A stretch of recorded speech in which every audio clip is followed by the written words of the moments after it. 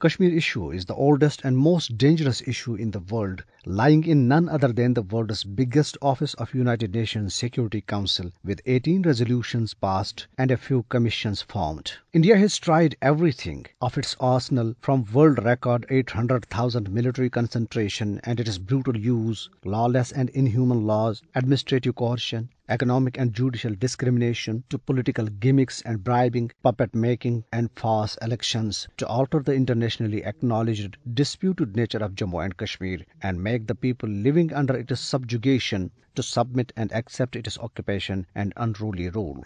But it failed miserably. India's failure and the time span of 73 long years is itself a big testimonial fact that resolution of the issue only lies in the implementation of United Nations resolutions. It is not an issue of which a solution is to be found.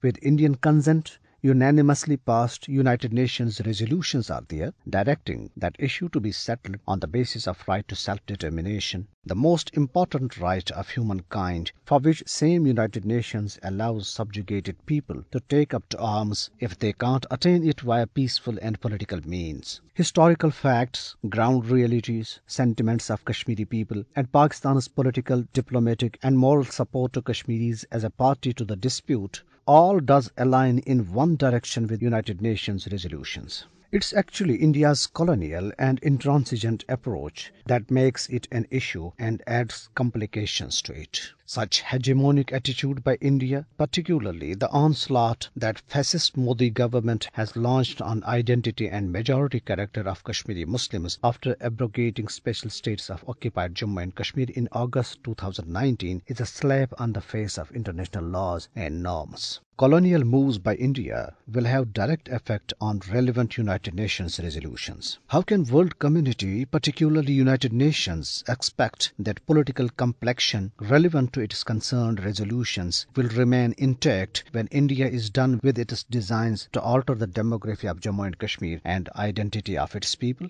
Making India to reverse its steps taken on 5th August 2019 and after is as imperative as the implementation of United Nations resolutions. On the other hand, the time-tested Kashmiris as a nation with their resistance, sacrifices and resilience of well over seven decades and undeterred motivation to take their resistance to a logical end have always conveyed India and the world community that they will never bow before India come what may.